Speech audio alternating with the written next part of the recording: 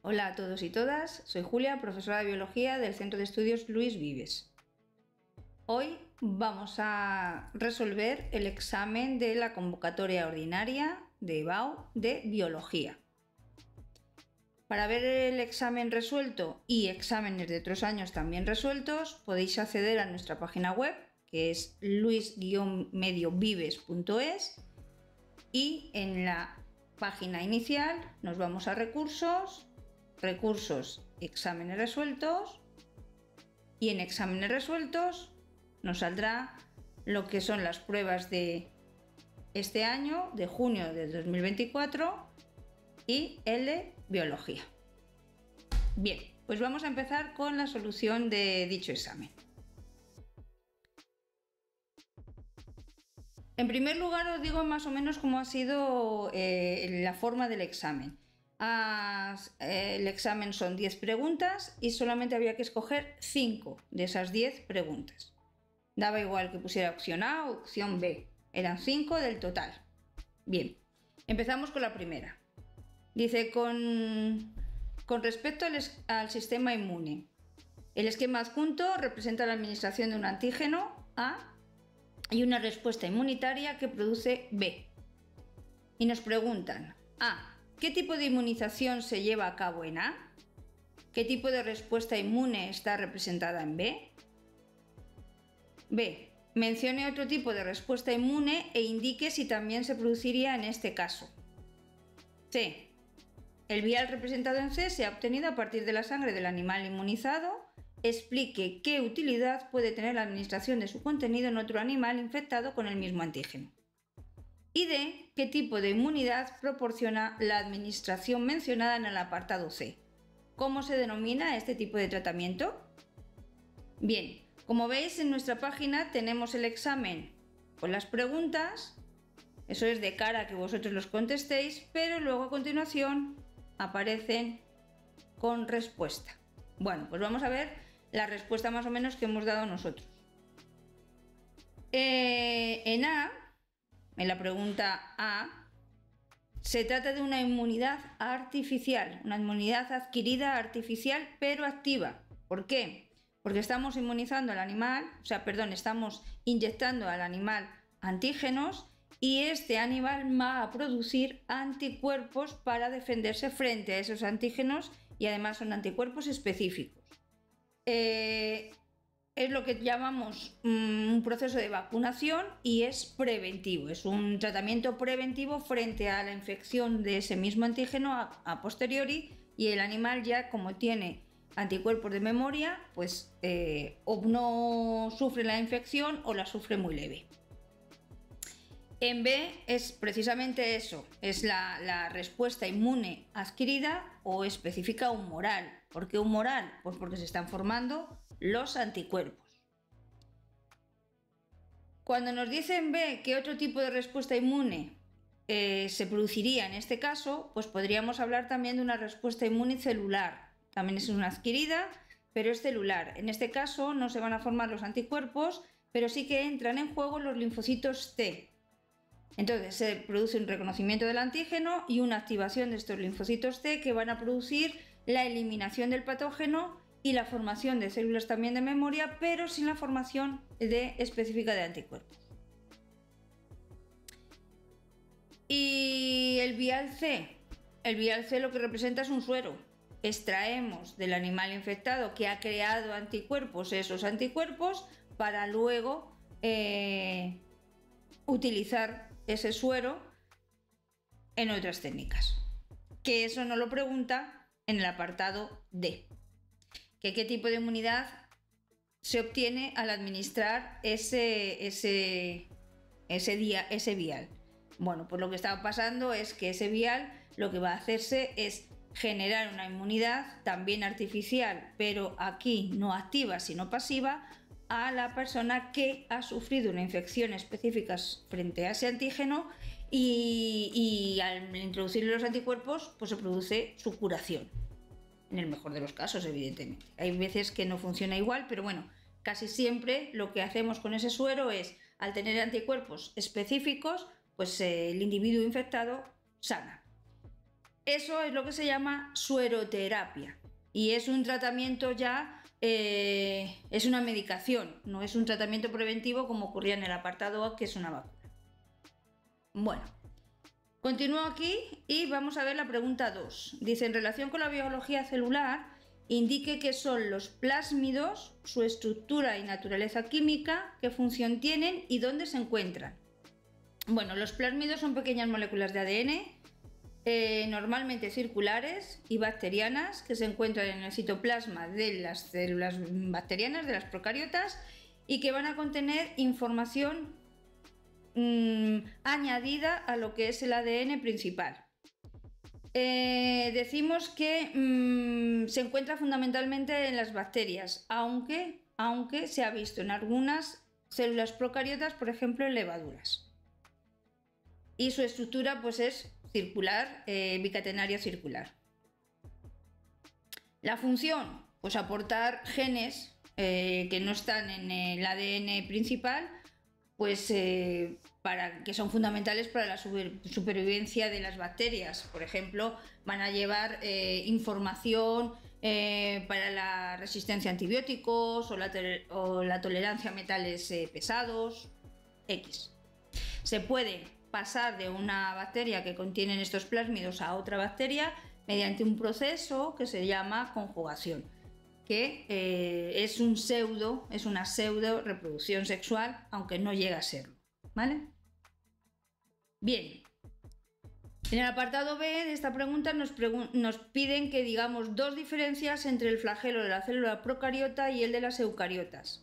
Nos hemos centrado en la respuesta en decir que fundamentalmente se difieren en la estructura y en el movimiento. El flagelo de procariotas está formado por una proteína fundamental que se llama flagelina y tiene una estructura muy simple, mm, con un motor basal que hace que rote eh, en forma como rotando como una hélice. Mientras que el flagelo de los eucariotas es mucho más complejo Está formado o parte de los microtúbulos, tiene tres zonas muy diferenciadas, una zona basal que es igual que un microtúbulo, una zona intermedia y un axonema o parte del tallo que tiene una forma de 9 más 2 y se mueve mediante ondulaciones gracias a una acción eh, de las proteínas que contienen, por ejemplo, la dineína que tiene una actividad ATPasa. Entonces utilizan ATP y se mueven pues, en forma ondulatoria. En la pregunta C nos dice, cite el componente principal e indique una función de la pared celular de procariotas. Bueno, el componente principal de la pared celular de los procariotas es el peptidoglucano, también llamado mureína. Y la función principal es dar forma a la bacteria, regular el intercambio de sustancias con el exterior, proteger a la bacteria de inclemencias o eh, de resistencia a los antibióticos, por ejemplo. Bien. Esta sería la pregunta 2. Vamos a la 3. Dice, respecto a la genética molecular, indique los distintos tipos de ARN que participan en la síntesis de proteínas y la función de cada uno de ellos. En la síntesis de proteínas vamos a ver que están implicados varios tipos de ARN, que son el mensajero, el ribosómico y el transferente. Fundamentalmente son esos tres.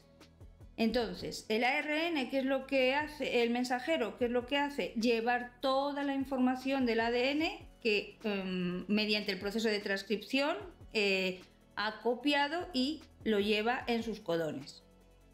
El ribosómico, pues es el componente estructural y funcional de los ribosomas, de tal manera que ya sabemos que el proceso de traducción se lleva a cabo en el ribosoma. Entonces, ahí participa el ARN ribosómico. Eh, formando esa estructura y a la vez eh, facilitando la formación de los enlaces peptídicos. Y el transferente también interviene en, la etapa de la traducción y transporta los aminoácidos a ese, en lo que llamamos anticodones para eh, enfrentar al mensajero y entonces cuando el anticodón tiene una parte que es complementaria que se le llama codón en el mensajero, se acoplan y ahí ya se produce eh, la formación del aminoácido correspondiente a esa proteína.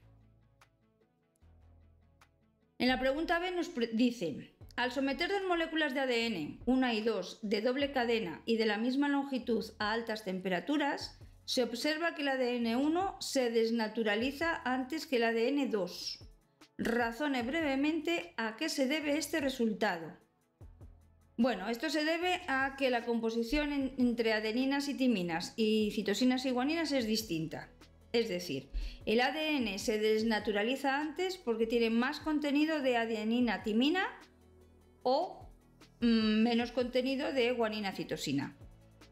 ¿Por qué se desnaturaliza antes? Porque en el proceso de desnaturalización se están rompiendo los enlaces entre, las, entre los aminoácidos, entre las bases nitrogenadas, perdón. Y entonces lo que está ocurriendo es que si tienen más guanina y citosina, como se unen mediante tres puentes de hidrógeno, cuesta más romperlo que si hay más contenido de adenina-timina que solamente se unen mediante dos puentes de hidrógeno. Así que al tener más uniones adenina-timina, pues se desnaturaliza antes porque tiene que romperse menos enlaces. C. Defina brevemente el concepto de mutación e indique un agente mutagénico físico y uno químico. Una mutación se puede definir de forma muy sencilla como los cambios o alteraciones que se producen en el ADN normalmente de forma aleatoria, al azar. Con decir que son eh, cambios o alteraciones que se producen en el ADN también valdría.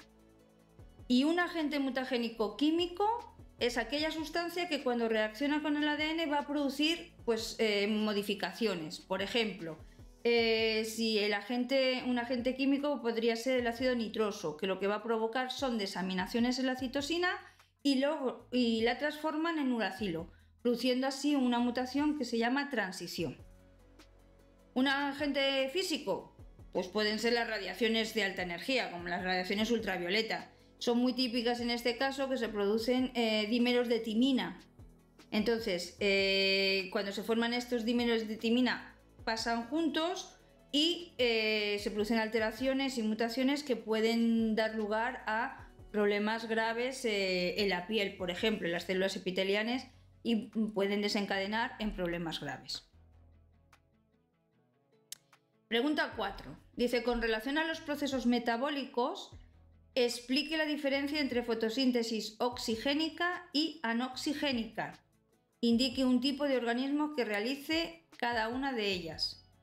La diferencia fundamental es eh, la molécula que va a donar los electrones y, que en este caso en, la fotosíntesis oxigénica el dador de electrones es el agua y entonces como consecuencia de ello se desprende oxígeno mientras que la anoxigénica no es el agua, sino que es otro compuesto inorgánico que va a dar electrones, pero no se produce desprendimiento de oxígeno. Y en este caso pueden ser eh, sustancias como el sulfuro de hidrógeno.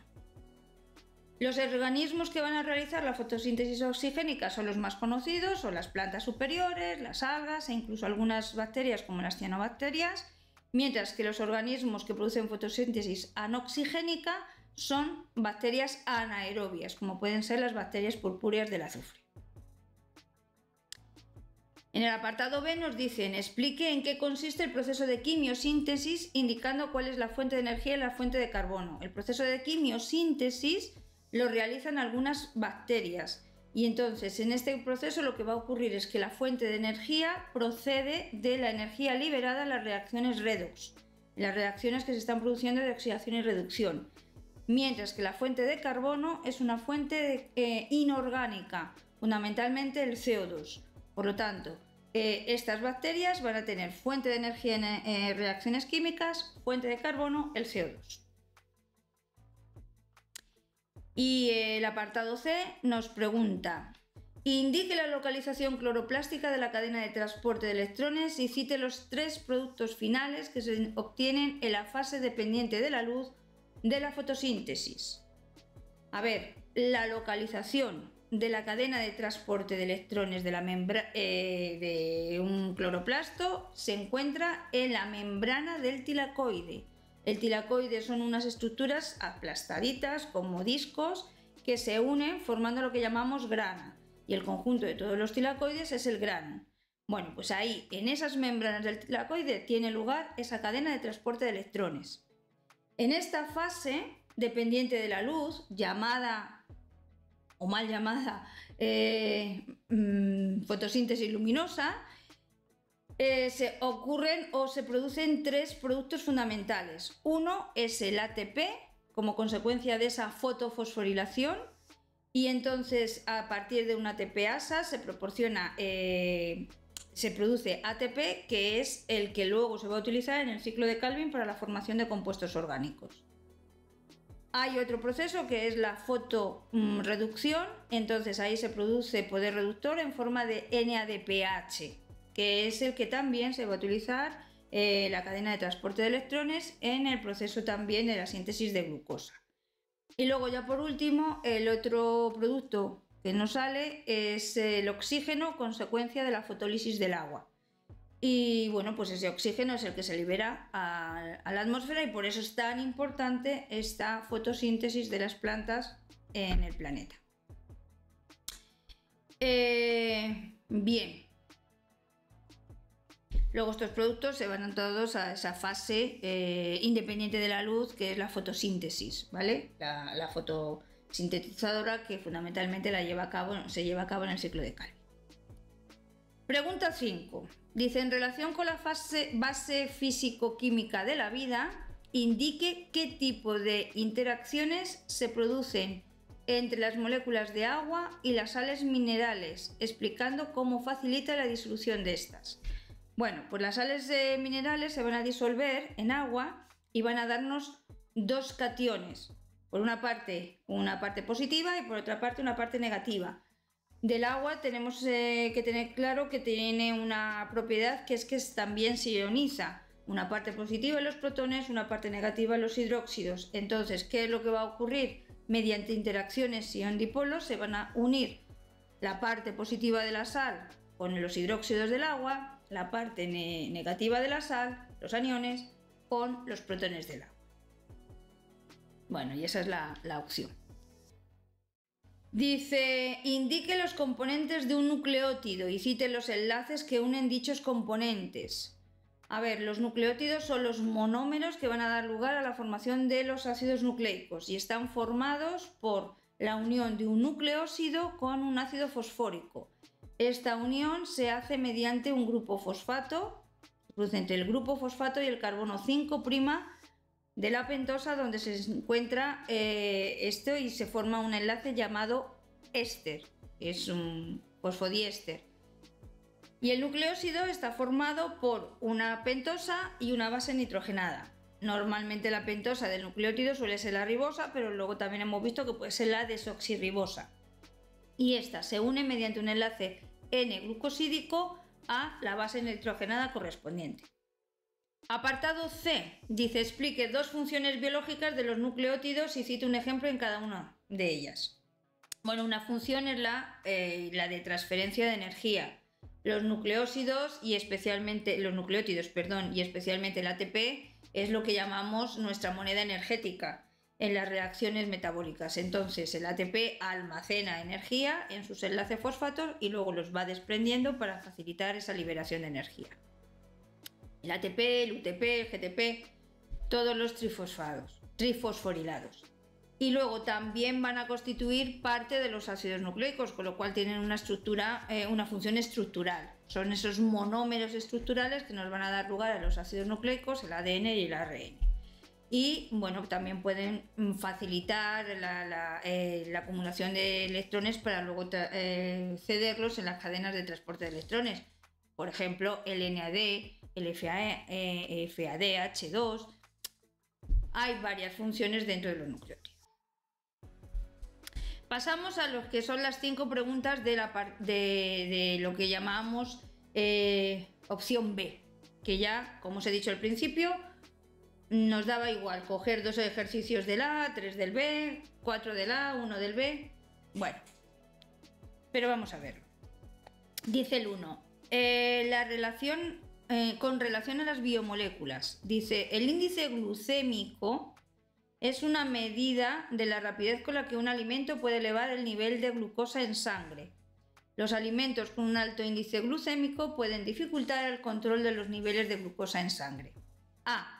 Cite una enfermedad relacionada con el control del nivel de glucosa en sangre. Indique en qué células y en qué forma molecular se encuentra, se almacena la glucosa en el organismo humano. A ver, la eh, enfermedad a la que hace referencia sobre el índice glucémico es eh, la diabetes, conocida también como diabetes mellitus, que pueden ser de dos tipos. La 1, que se caracteriza por la destrucción mm, autoinmune de las células betas del páncreas, y, la que es el donde se produce la insulina fundamentalmente, y el de tipo 2 que se caracteriza por la resistencia a la insulina o a una producción insuficiente o nula de esta insulina. En el organismo humano eh, la glucosa se almacena en forma de glucógeno, que es un homopolisacárido, y bueno, que se utiliza para liberar rápidamente glucosa cuando es necesario. ¿Y dónde se acumulan? Pues principalmente en las células del hígado, en los hepatocitos y en las células musculares llamadas miocitos. Apartado B. ¿Qué otra función, eh, perdón, qué grupo funcional químico caracteriza a los monosacáridos y cómo se clasifican en función de dicho grupo? Bueno, el grupo funcional es un grupo carbonilo, es decir, un carbono unido con un doble enlace a un oxígeno lo que pasa que este grupo carbonilo puede venir solo y entonces forma lo que llamamos una cetona y como consecuencia da lugar a las cetosas o puede estar unido también a un hidrógeno y entonces forma un grupo aldehído y por lo tanto forma las aldosas. Y por último, C. Indique una similitud y dos diferencias entre el glucógeno y el almidón. Entre varias similitudes podemos decir que ambos son polisacáridos de reserva energética. Podemos incluir también que son homopolisacáridos, los dos también formados por la unión de muchos monómeros de glucosa. Bien. Con respecto a las diferencias, pues podemos citar que el almidón es el polisacárido fundamental de reserva energética en células vegetales mientras que el glucógeno es el polisacárido que es, eh, nuestra fuente de reserva energética en células animales. También podemos hablar sobre la ramificación. Eh, el almidón está formado por dos polímeros fundamentales, uno que es la amilosa y otra que es la amilopectina, mientras que el glucógeno está formado por una sola molécula en donde hay ramificaciones eh, pero más distanciadas. Entre 8 y 12 unidades de glucosa se producen eh, enlaces eh, de ramificaciones alfa 1,6. Bueno, fundamentalmente con dos, una semejanza y una similitud, pues ya está, nos hemos ido al terreno funcional, pues ya sabemos. Similitud, los dos, reserva energética. Diferencia, uno en células animales, otro en células vegetales. Es nuestra opción. Nos vamos a la Pregunta B2. Dice, en relación con la información genética de los seres vivos, en el primer apartado nos pide que relacionemos cada uno de los conceptos que hay en la cadena columna izquierda con solo uno de los de la columna derecha. Bueno, pues vamos a ver. Proceso de, splicing es, eh, tiene lugar en la transcripción. Ya sabemos que es ese proceso de maduración del mensajero cuando se está formando en las células eucariotas. La hebra retardada en la replicación. En la replicación del ADN tenemos una hebra retardada y una hebra continua. Bueno, pues eso. El sitio P en la traducción. Es un sitio donde se encuentra en el ribosoma donde se va a formar ahí la traducción del péptido. La caja tata también tiene lugar en los procesos de transcripción. El ARN transferente, como ya hemos visto en nuestra pregunta anterior, participa de la traducción. La secuencia ORIC pues forma parte de lo que es el inicio de la duplicación o replicación. Código genético es ese código que por el cual vamos a transformar ese lenguaje nucleotídico en un lenguaje peptídico, por lo tanto, en la traducción. Y la ADN polimerasa o ADN polimerasas son las enzimas que van a dar lugar a la formación del ADN, por lo tanto, replicación. B.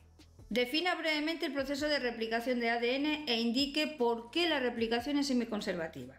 Bien, la replicación del ADN va a ser el proceso por el cual una molécula de ADN da lugar a dos moléculas iguales, teniendo en cuenta que en esa mm, duplicación se replica, se queda una hebra parental y una hebra nueva, una hebra nueva y una hebra parental. Ambas moléculas llevan la misma información que la molécula original. Y ocurre este proceso durante el ciclo celular en la etapa S de síntesis.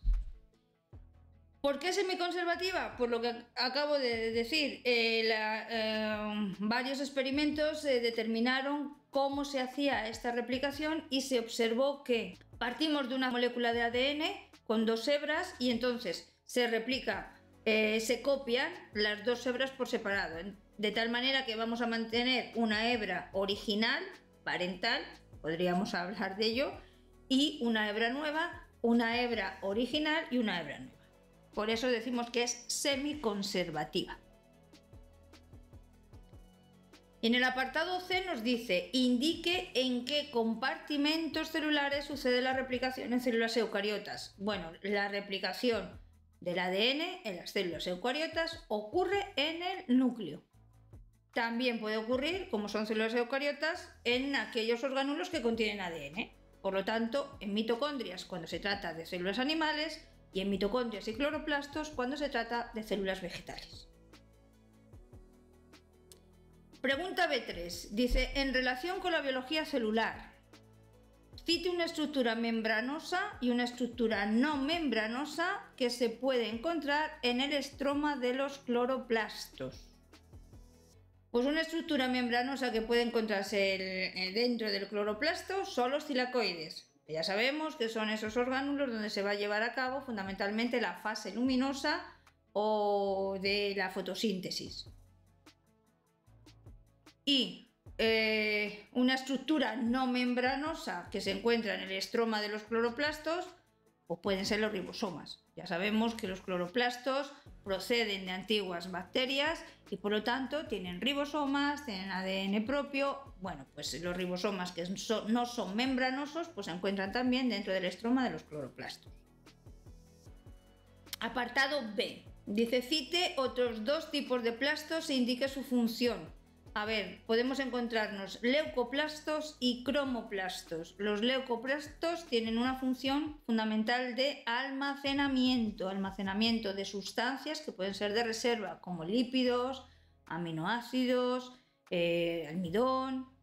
Mientras que los cromoplastos son plastos que contienen pigmentos, pero que no van a ser la clorofila, sino que son otros pigmentos que van a dar, son fundamentalmente carotenoides y van a dar esos colores llamativos en los frutos, en las flores. Apartado C. Cite los componentes de la cromatina. Bueno, la cromatina ya sabemos que es, una sustancia que se encuentra en, las células eucariotas y que vamos a tener, eh, contienen ADN, ARN a veces, proteínas que son fundamentalmente histonas y no histonas y que se eh, presentan en distintos grados de condensación. Pueden estar muy condensadas y mm, ahí decimos que no son proclives a la codificación para proteínas o pueden ser menos condensadas y entonces esas sí que van a ser codificables y van a dar lugar a las proteínas. Apartado D. Explique qué diferencia hay entre la eucromatina y la heterocromatina de la célula eucariota. Fijaos, lo que yo os he estado comentando antes, que puede estar muy condensada o poco condensada y que como consecuencia se va a codificar o no para dar lugar a una proteína, no lo están preguntando en, esta, en el apartado D. ¿Eso qué quiere decir? El error, entre comillas, que acabo de cometer, lo he hecho casi a propósito para que veáis que muchas veces contestamos en un apartado todo lo que sabemos sin darnos cuenta que en el apartado eh, posterior o el que viene a continuación nos van a, hacer esa, nos van a hacer esa pregunta. Así que lo mejor es como está aquí. Un ejemplo, es decir, cite los componentes de la cromatina. ¡Pum! Citamos. Y luego, lo que pensábamos decir y que yo he dicho para que veamos así qué bonito quedaría. No, no queda bonito. Eso hay que contestarlo en el apartado D. ¿De acuerdo? Muchas veces eh, nos valoran mm, menos en los exámenes precisamente porque no sabemos eh, concretar en la respuesta qué es lo que tenemos que poner en cada apartado. Así que, ya sabiendo esta, eh, este truquito, este, esta forma de responder un examen, vamos a contestar precisamente en qué, en qué se diferencia la eucromatina y la heterocromatina. Bueno, pues la cromatina menos condensada o abierta es lo que llamamos eucromatina y se caracteriza porque ahí sí que puede dar lugar a la formación de los aminoácidos o las proteínas, es la que se puede codificar. Mientras que la más condensada es la heterocromatina y entonces ahí decimos que mm, no se puede codificar, que no se va a dar lugar a la transcripción y por lo tanto no va a dar lugar a la formación de esas proteínas. B4 dice respecto a las enzimas, defina los términos enzima y centro activo. Bueno, la enzima es una proteína, eh, bueno, es una molécula orgánica normalmente de naturaleza proteica, de origen proteico, y que actúa en las reacciones químicas acelerando la velocidad de reacción. Por eso decimos que son biocatalizadores naturales y son biocatalizadores positivos. Y el centro activo es el sitio de la enzima donde se va a unir el sustrato y que produce la reacción catalítica para dar lugar a la formación de los productos. B. Dice, en una reacción química en la que un sustrato A se transforma en un producto B, se liberan 5 kilojulios mol por molécula de sustrato. Razone cuánta energía se liberaría si la reacción estuviera catalizada por una enzima.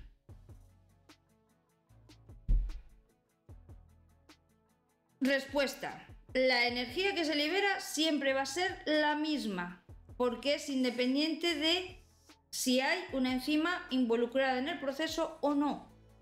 La enzima lo que hace es que acelera la reacción y hace que esa energía liberada salga antes, pero no, no interviene en la cantidad de energía liberada. Por lo tanto, tengamos enzima o no tengamos, la energía en la que A da lugar a B producirá siempre 5 kilojulios mol. Y en el apartado C nos dicen el estudio del efecto de la temperatura sobre la actividad de una enzima, medida en velocidad de la reacción, dio lugar a los valores mostrados en la siguiente tabla. Razone a qué se deben estos resultados. Bien, las enzimas ya he dicho antes que son proteínas, con lo cual van a tener las mismas propiedades que las proteínas, y una de ellas es la desnaturalización. Nos acordamos que eh, las proteínas y en este caso las enzimas tienen un pH óptimo y una temperatura óptima de actuación. Si nos alejamos de ese pH o de esa temperatura, o si las condiciones se modifican, va a afectar a la enzima y claro, pues sufrirá un proceso de lo que llamamos desnaturalización que afecta a su funcionalidad. Entonces, viendo la tabla, nos estamos dando cuenta que la mejor temperatura de actuación de esta enzima está en torno a los 35-40 grados. Mientras que si bajamos a 10 grados la velocidad disminuye y si subimos a 60 no hay actividad. En ese caso ya se, dice que la, proteína se ha desnaturalizado por completo y entonces ya no tiene, ha perdido su funcionalidad. Bueno, pues esto es eh, lo que nos está explicando este, esta tabla. Y ya la última pregunta dice, con respecto a la biotecnología, aplicada a la industria alimentaria, indique qué tipo de microorganismo interviene en el proceso de fabricación del vino y el tipo de reacción que lleva a cabo, así como los productos finales generados en dicha reacción. Bueno, pues el microorganismo que se utiliza en la fabricación del vino es una levadura y normalmente son levaduras del género Saccharomyces, que son anaerobias facultativas. Eh, los productos que se llevan a cabo después de la fermentación que da lugar al vino, tenemos en cuenta que hemos venido de una glucólisis en donde hemos obtenido ácido pirúvico y ese ácido pirúvico mediante un proceso de fermentación alcohólica va a dar lugar a la formación de etanol dióxido de carbono y mm, la energía procedente de la glucólisis y luego la regeneración del poder reductor en forma de más. Fundamentalmente se obtienen etanol y dióxido de carbono. B. Indique qué tipo de microorganismos intervienen en el proceso de fabricación del queso y el tipo de reacción que lleva a cabo, así como el producto final generado en dicha reacción. Bien, los eh, organismos que intervienen en la formación del queso son bacterias del tipo lácticas, eh, principalmente Lactobacillus, eh, Lactococcus o Streptococcus se llevan a cabo esta fabricación de los quesos mediante un proceso que se llama fermentación láctica, que es también un proceso anaerobio, y se obtiene al final un producto que es el ácido láctico. Y por último, C. Si comparamos los dos procesos anteriores, anteriores perdón, indiquen cuál de ellos encontraremos el medio de cultivo con un pH más ácido y nos pide que razonemos la respuesta. El proceso de la fabricación del queso y por lo tanto en una fermentación láctica eh, se produce es un cultivo con un pH más ácido. ¿Por qué? Pues porque la producción del ácido láctico por estas bacterias eh, reduce considerablemente el pH de la leche y entonces crea un ambiente mucho más ácido que el creado en la formación de en la fermentación eh, alcohólica para dar la formación del vino. Ya está. Bueno, hasta aquí el examen. Espero que las respuestas os ayuden para vuestro estudio, para futuros exámenes y como os digo, el resto se encuentra en nuestra página web. Nosotros estamos aquí en Luis Vives y nos vemos en siguientes vídeos. Hasta pronto.